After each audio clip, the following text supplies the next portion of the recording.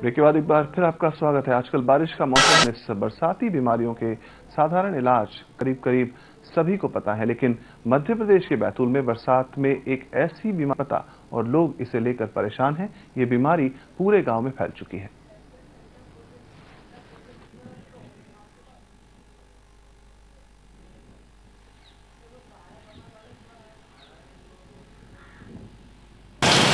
शुरू जब से हर महीने एक बजट आता है आधुनिक युग में आज भी भारत के कई हिस्से ऐसे हैं जहाँ अंधविश्वास सिर चढ़कर बोलता है। मध्य प्रदेश के बैतूल ज़िले के मिथानी गाँव में 15 दिन के अंदर अंदर कई दुधारू पशु इसकी इसकी चपेट में आए हैं। किसी बीमारी के, की वजह से मौत के घाट उतर रहे हैं ये जंतु दुधारू पशु। गाँव में किसी को भी इस बीमारी के बारे में कुछ कोई जानकारी न होने की वजह से गाँव वाले इसे दैवीय प्रकोप मान रहे हैं। इस अनजानी बीमारी से पशुओं को बचाने के लिए गाँव के लोगों ने कई धार्मिक जतन किए हैं, लेकिन कोई असर नहीं हुआ। इससे बचने के लिए गाँव में गलघोटू का टीका भी लगवाया गया, लेकिन कोई फ़र्क नहीं पड़ा। पशुओं के मरने का दौर जारी है। इसके बाद गाँव के लोगों ने इस परेशानी से बचने के लिए गाँव से दूर रहने वाले गाँव के भगत का सहारा लिया। गाँव के भगत ने इस परेशानी को देखने के बाद एक फरमान जारी किया। कि गाँव स्कूल में जो गाड़ियाँ लगी इस कुछ गैस भर रहा है कोई भी शख्स तेल नहीं खाए।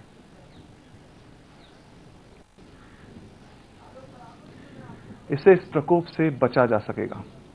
तो अंधविश्वास के बाद ऐसा इलाज जिसका कोई खरीदारी करना खरीदारी करनी हो। ताली से लेना चाहिए।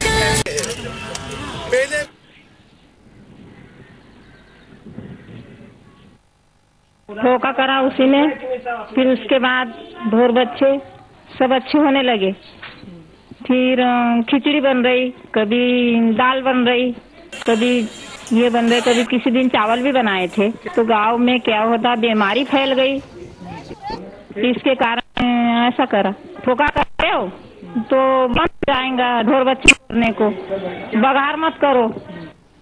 गाँव में फैली इस महामारी से जब किसी भी तरह निजात नहीं मिली तो गाँव के लोग पुराने टोटके आजमाने को मजबूर हो गए और गाँव के भगत का जारी किया फरमान कबूल कर लिया।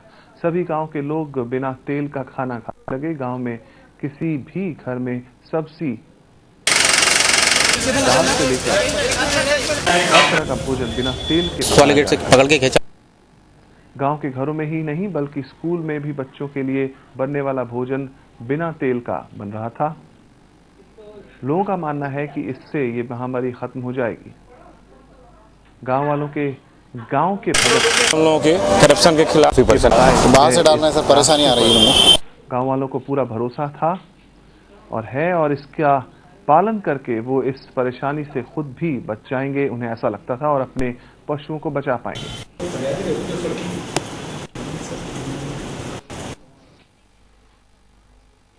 स्वास्थ्य विभाग तो अपना काम बराबर किए दो तीन बार आए और जब भी बुलाते तो आ जाते हैं पर उसके बावजूद भी जैसे उसमें कंट्रोल नहीं हो, पा रहा था उस संदर्भ में हमने एक दूसरी रास्ता खोजी जो हमारे पुराने लोग